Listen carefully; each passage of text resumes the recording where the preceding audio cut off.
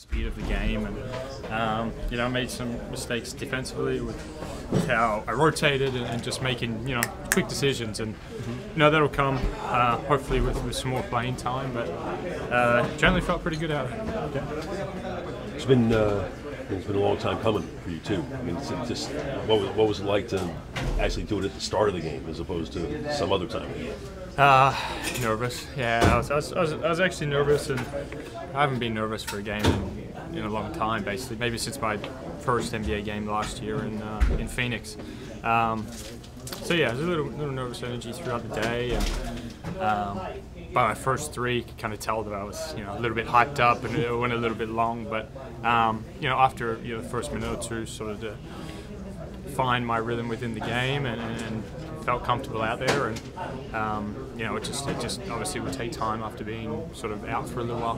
When Rick uh, told you you were starting, how, uh, I found out this morning um, in our team meeting. So it was written on the board, and I, I hadn't looked at it yet, and we do this like trivia game um, between, between a few of us, and after we finished, Max is like, "Oh, you're starting tonight."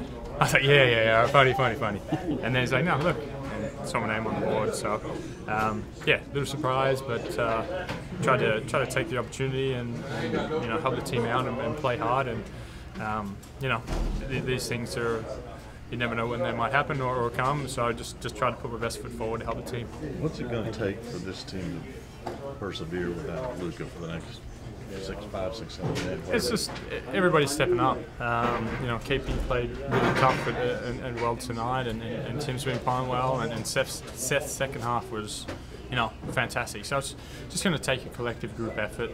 Um, everyone pitching in, everyone you know doing a little bit more, and um, you know locking down defensively. That's that's you know the Hawks put up a lot of points, and, and that's what we've got tomorrow night. So um, you know just just playing our role and, and, and making sure everyone's ready to go when, when the name's called. Any interesting playing against a team that small that didn't play anybody over six six? Yeah, it's it's the NBA's changed, hasn't it? Um, so yeah, it was, it was, they do a great job of switching and, and forcing you out of things and, and, pushing you out sort of beyond the three-point line and making it more of a one-on-one game. And you know, it, it, took a little bit, bit of time to adjust, and, and, and we made some mistakes here and there at, at, crucial times. But I thought we handled it generally pretty well, and, and we were able to you know score points. It was a little bit down the defensive end. You know, they got some some uh, some fantastic players who can put up points. So you know, trying to control those those players, and, and you know, they open up everything for, for, the other guys. So we're a tough team to, to play, um, both ends of the floor, but but you know we're right there, and